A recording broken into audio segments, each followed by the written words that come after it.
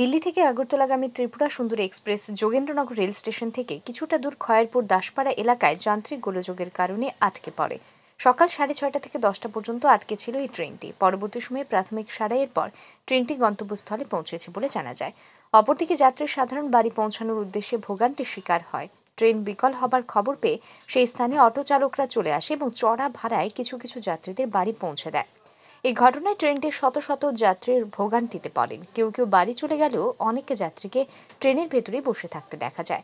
ত্রিপুরা সুন্দরী এক্সপ্রেসের যাত্রীদের সঙ্গে কথা বলে জানা যায়, ত্রিপুরা সুন্দরী ট্রেনটি হঠাৎ করে খয়েরপুর দাসপাড়া এলাকায় থেমে যায়। তাই তারা বুঝে উঠতে পারছে না কি করবে।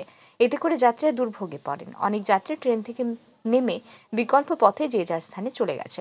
ছটার সময় ট্রেনটা যাওয়ার কথা ছিল। তো এখানে আটকালো আর মানে যাচ্ছে না কোথাও যাচ্ছে না এখানেই বসে রয়েছে। অপেক্ষা করছি এখন হবে তখন হবে। কোথায় থেকে এসেছেন আপনারা? আমরা আসছি ফ্রম গুয়াহাটি। গুয়াহাটি থেকে আসছিলাম গুয়াহাটি ট্রেন ছিল। গুয়াহাটি থেকে কোথায়? গুয়াহাটি টু আগরতলা। কোন জায়গায় আটকে আটকে আছেন আপনারা? এখানে জুয়েল রং আটকে রয়েছে কতক্ষণ ধরে?